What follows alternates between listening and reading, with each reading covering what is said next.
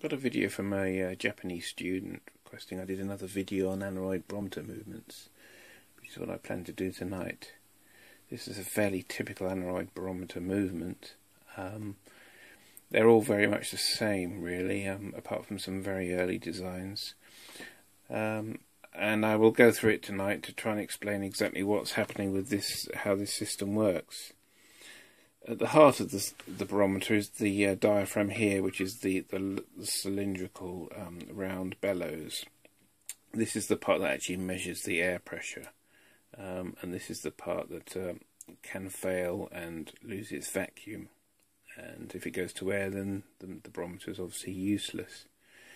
Um, some of the aneroid barometers eva evacuated all their air. Not all, not always the case though. Sometimes they have a special gas in to attempt to compensate for um, temperature um, changes. But this one is probably more or less total vacuum inside, as good as vacuum as you can get. Um, and that that that bellows comes through to this point here, and then there's a pin, and you can see these pins here. There's the, these two pins are connected to this spring here. This is a, a, heavy, very heavy spring. Actually, it's very hard to actually get these pins back out because you have to put a lot of pressure on there before you can release the pins.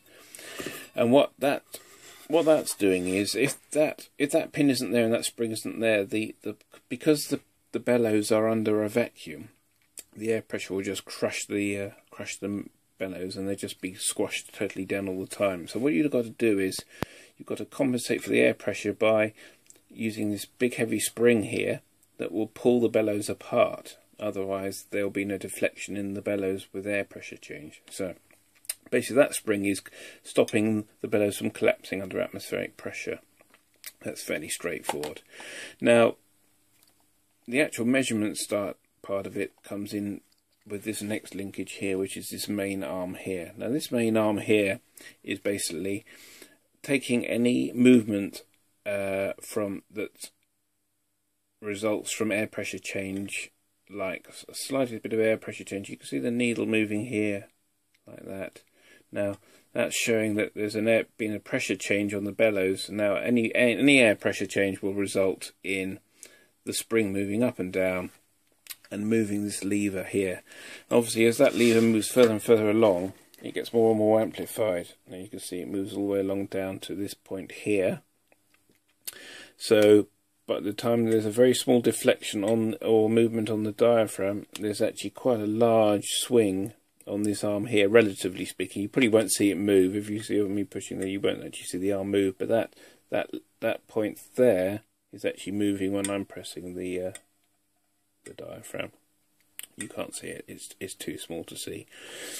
Um, that point there is then dropped down to this point here, which is on a, uh, a pivot, and this pivot bar runs through to here. So you can see these two screws here, there, that they are pivot points, and that point comes down to there, and then it pivots onto there. So that's another form of amplification that will amplify the movement further.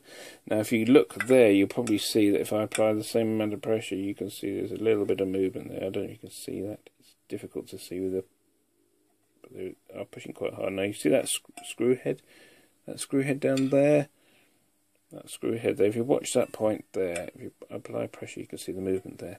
So obviously, that's amplified through all the levering effects on the, and the effect of levers increases the amplification. Okay, so at that point, then you come along to that shaft there where that screw is, and that point comes to this point here, and then that moves up up to here, and that connects to the spindle shaft, and the spindle shaft is just here. Difficult to get the camera to focus where you want it to focus, and you can see here that there's the main spring that I just poked accidentally. It's a manual focus. Hopefully you got you can see the chain link. There's a fine chain here, and that connects round this this shaft, the spindle of this needle, and that gives you the uh, indication of the barometric pressure. So basically, it's a link, a, a concoction of amplifiers, and then a, a link through to the um, to the uh, indicating needle. Um, so basically, that's all it does. Is you, all you're doing is you're taking the movement of the uh, the, the diaphragm and you're just amplifying it and then sending it into a, a, a, a to a crank, basically, so you can uh, see an indication on the meter. So that's basically how it works. There are a few other adjustments. Um, this is a fairly high quality uh, movement, uh, American built movement. As I say, they're all pretty similar. The screw that I was showing you earlier on, that's the um, calibration screw. And if you can see there, what that's doing is it's spreading these two pieces of uh, metal apart. And the further you spread them apart, the more, um, sorry, the further you spread them apart, the less gain you'll get.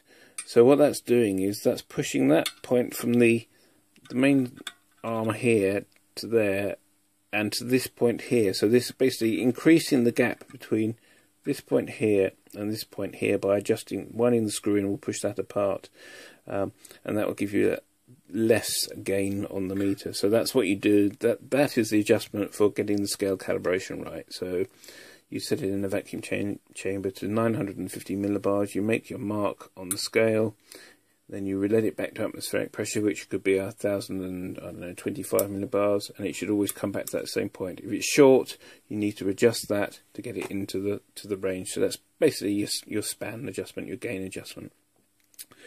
There is um, on this particular um, movement an adjustment for thermal compensation.